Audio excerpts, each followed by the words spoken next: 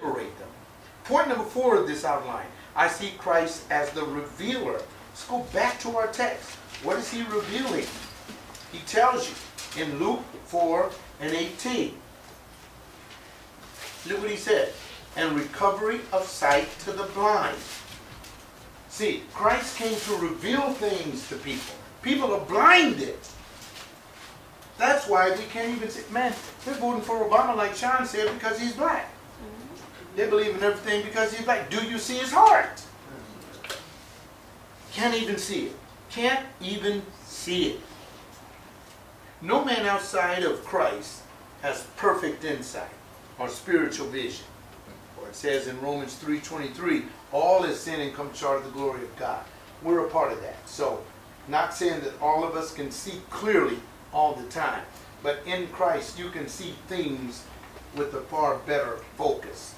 Uh, before you commit the sin as a Christian, you can see what the result would be, and that's what stops you from doing it. Because you know what it will result in. Now let's look at this very, very close. You have to ask yourself, well, what does he reveal to me? What does he open my eyes to? I, I used to be blind. I've recovered from spiritual blindness, and now I see. Now, am I going to become that agent that's going to help other people see clearly? See, because that's why Christ, that's what the portrait of Christ is all about. Christ said, God has sent me to open the eyes of those that are blind. What has he sent you to do? To keep their eyes blindfolded or to open them wide? And I'm telling you, the church is going, man, I just wish on a field problem on Sunday, we can go to a mega church and especially West Angeles down the street. See the way those folk are dressed, those girls are dressed when they go to church down there. It looks like a fashion show. They down there, man, and they, ooh. Well, leave it alone, John. Stick with it. All right, I'm trying to. The revealer. I'm redeemable. All men are redeemable. God loves me enough, therefore he provides for that lack in my life. And so God has given to me power to see, power to flee, and then power to be set free. It says in John 8:32, if the Son has set you free, you're free indeed. This is what the panoramic view of that portrait in Christ is. He wants us to be, um, I don't like this term agents, but tools to cause people to become free. That's what he wants us to do. Point number five and lastly, and it's very quick but important outline.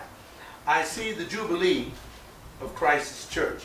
Look what he says in verse 18e. He says, to set free those who are downtrodden.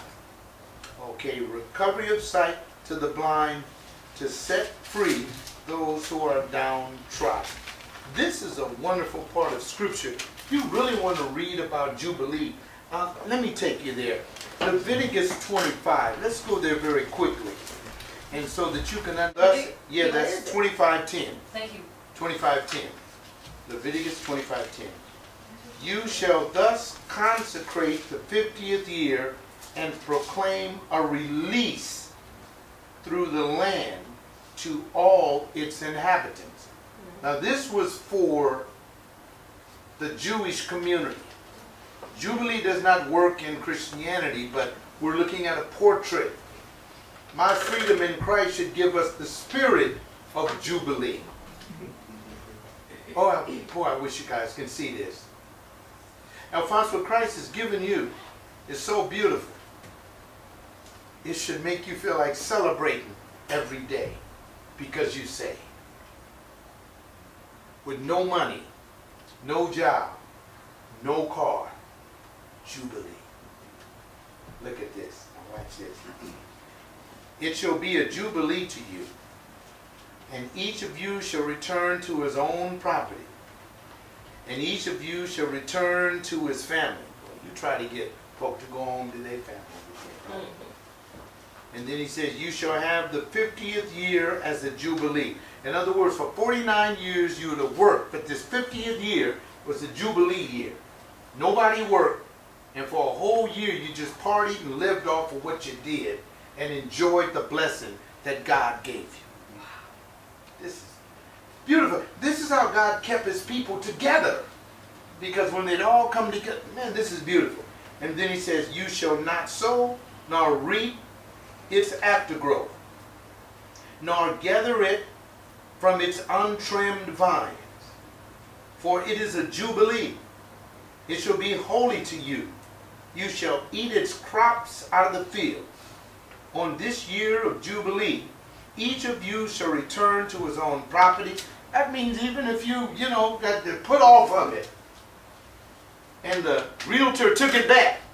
Well, when the 50th year came, it was yours again. Mm-hmm. Go on and take that land that you had. You could be in debt for 40 years waiting on Jubilee to come. And in this thing, in this constitution under God, you would go back and get it. Now look at this. You've experienced it. You've experienced it. God ain't holding nothing against me right now. He said, John, I've given you Jubilee. But I'm, I don't have a big church house. And, uh, I don't have a Benz. Says, you got that Lexus, that old Lexus. You cover it up, keep it uncovered. Jubilee. At Alphonse, you and your wife are living in an apartment. Jubilee. I haven't been able to buy me a new suit or a new wardrobe. Jubilee. When you wear the old. Contentment in Christ. That's a beautiful thing. All redeemed persons view themselves as freed slaves. The shackles have been removed. This is why we want to present Christ to other people. They're enslaved to it. You you know anybody that's on narcotics and can't get off? I mean, you know, it's like, you know, when you think of, I hate to use him as an example, but he's a perfect example.